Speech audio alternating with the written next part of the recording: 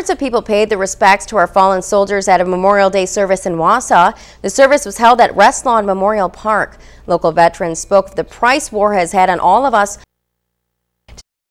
All American soldiers who fought and are fighting for our freedom. But there's a group of Vietnam War veterans living in America who are all but forgotten. John DeRivers gives us an inside look at the secret war and those who fought and died in it.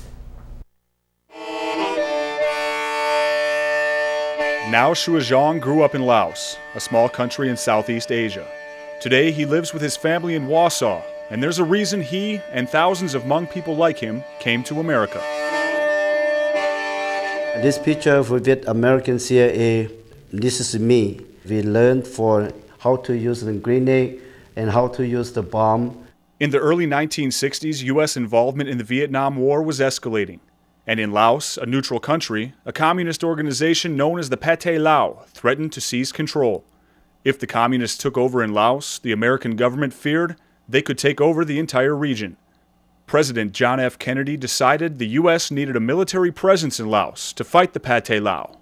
But because it was a neutral country, it would be considered an act of war if he sent U.S. troops in. The Hmong people don't like the uh, communist way everybody like freedom. They don't want the government to control. The Hmong people living in the mountains of Laos were against the Pathet Lao, but had no weapons to fight them. That's where the CIA comes in. With American weapons and training, the Hmong people were now equipped to fight the communists and help the U.S. at the same time. This became known as the Secret War.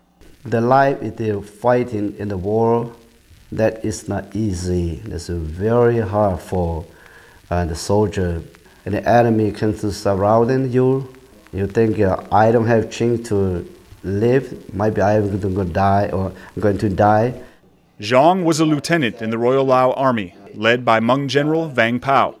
The CIA positioned the troops to block the communists from using the Ho Chi Minh Trail, the main military supply route that ran from North to South Vietnam.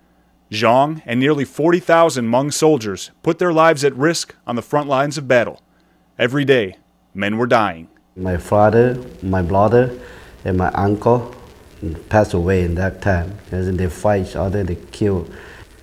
And I lost, I lost my family member and my friend. Nao Shoua tells me he saw one of his closest friends get killed right in front of him on the front lines. He says he doesn't know how or why he survived, but tells me he was one of the lucky ones along with another close friend. Zheng Zhang hosts a Hmong language radio show in Wausau. He was also a lieutenant in the Lao Army. I carry the weapon and I uh, stay in the front line so we can uh, fight back and forth. He joined the Army at 14 years old, and like Nao Shoua, he lost many friends and family members in battle. It's something he thinks about often. I do have a nightmare. Think about that, and something still on my mind. Uh, sometimes I still uh, have the dream that we still fought the uh, communists, and sometimes the uh, B-52 come over our heads and drop the bomb, so we have to escape. In 1975, the United States pulled out of Vietnam, and soon the Pathet Lao began killing Hmong men, women, and children because they helped the U.S the Hmong people had to flee their country or be killed. Running for their lives, thousands of them crossed the Mekong River into Thailand. I saw the, uh, mm, the lights and the car coming and know, we know that we reached Thailand, so we will be safe because Thailand still be uh, democracy and freedom. Now without a home, the Hmong people lived in refugee camps in Thailand until, in the late 1970s, the U.S. military brought many of them to America because they fought and died for America in the secret war. Most people, they did not know us, but we uh, fight uh, for the United States and we uh, try to